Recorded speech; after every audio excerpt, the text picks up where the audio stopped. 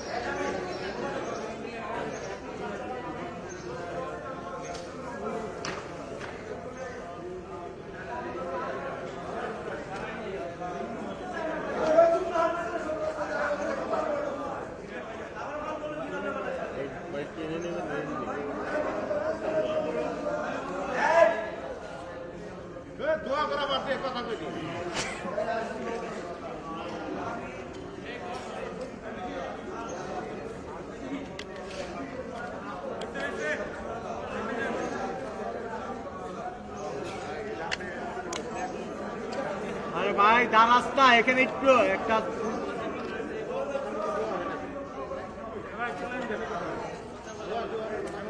হ্যাঁ। এই তোমরা কেউ কথা বলব না কেউ কথা বলব না কথা বলার সময় কেউ কথা বলব না। একবারে চুপ।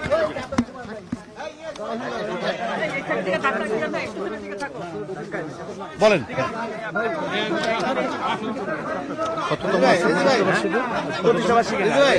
নতুন কমিটি। স্বপন কই? সুপ্রিয় সাংবাদিক ভাইরা এই কেউ কথা বলব না পিছনে যাচ্ছে স্যার কোনো নেতৃবৃন্দ কথা বলব না।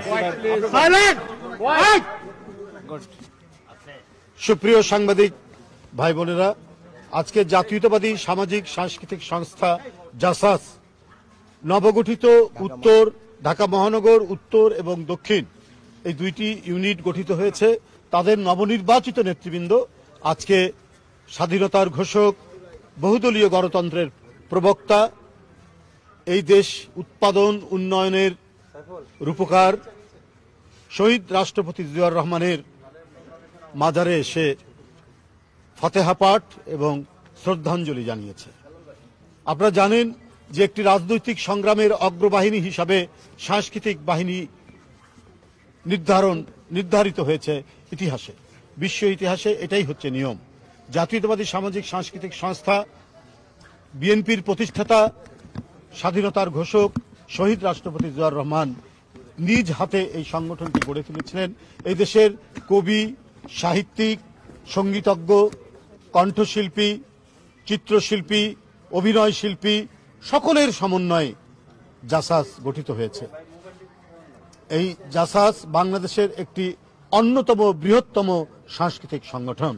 তারা বাংলাদেশি জাতীয়তাবাদ, আবহমান বাংলার সংস্কৃতি এবং আমাদের ভাষার উৎকর্ষতা, বাংলা ভাষাকে বিশ্ব দরবারে পৌঁছে দেওয়া ইত্যাদি নানা বিষয় নিয়ে তারা কাজ করছে। তারা কাজ করছে আমাদের স্বাধীনতা সার্বভৌমত্বকে অক্ষুণ্ণ রাখা, শক্তিশালী রক্ষা করার স্বার্থে দেশের সাংস্কৃতিক একটি জনগোষ্ঠী তৈরি করা, যারা কবিতায়, যারা গানে, যারা শিল্পে, যারা চিত্রাঙ্কনে এই এদেশের স্বাধীনতা, সার্বভৌমত্ব এবং গণতন্ত্রকে তারা তুলে ধরবে। এটাই হচ্ছে প্রত্যয়, এটাই হচ্ছে অঙ্গীকার জাসাসের। বন্ধুরা আমার, আপনারা জানেন, আমরা একটা কঠিন এবং ঘোর দুর্দিন অতিক্রম করছি। আজকে মানুষের পেটে খাবার নেই, আজকে হাহাকার করছে। এত উন্নয়নের গাল ভরা গুলি, বুলি তারা আউড়েছেন। অথচ সন্তান বিক্রি করছেন খাবারের জন্য। হাসপাতালে চিকিৎসা নেই, চিকিৎসার জন্য সন্তান বিক্রি করছেন। খাবার অভাবে একজন ছাত্র বলেছে, আমি দুই বেলা খেতে চাই ছাত্র পড়িয়ে। রাজশাহী বিশ্ববিদ্যালয়ের ছাত্র। এইটা আওয়ামী লীগ ক্ষমতায় আসলেই আমরা দুর্ভিক্ষের পদত্তরি শুনতে পাই এবং আমরা দুর্ভিক্ষ দেখতে পাই। আপনারা দেখেছেন যে বাহাত্তর থেকে পঁচাত্তরের কি ভয়ঙ্কর দুর্দিন সেদিন গেছে, কি ভয়ঙ্কর দুর্ভিক্ষ তখন গেছে। আমরা মাছ ধরার জাল পরে লজ্জা নিবারণ করতে দেখেছি মহিলাদের সেই সময়। আজও তারা সেই একই পন্থা নিয়ে গেছে। তাদের মন্ত্রী বলছেন বিদেশে যে আমাদের প্রযুক্তি নেই, আমাদের টাকা নেই, টাকা চাচ্ছে, ভিক্ষার হাত তারা বাড়িয়ে দিয়েছে। আর দেশের মধ্যে বলছেন, আমরা বলে সিঙ্গাপুর হয়ে গেছি, আমরা বলে ওই কি বলে, কানাডার মতো আমরা হয়ে যাব দুই এক বছরের মধ্যে। মিথ্যা কথা বলে গাল ভরা বুলি দিয়ে জনগণকে বিভ্রান্ত করে তারা জনগণের পেটের আহার কেড়ে নিয়েছে।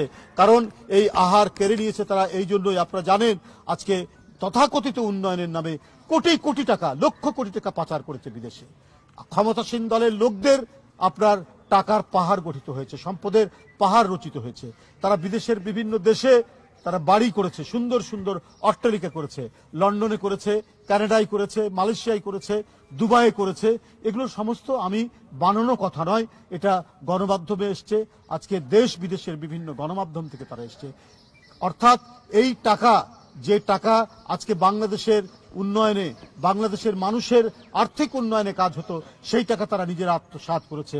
অথচ আমি আমাদের এই ঢাকার বস্তিতে একজনের একটি ঘটনা আমি কালকেও বলেছি যে আজকে দেড় দুই মাস হলো তারা মাংস খেতে পায়নি, তারা মাছ খেতে পারেনি, তারা সবজি কিনতে পারেনি।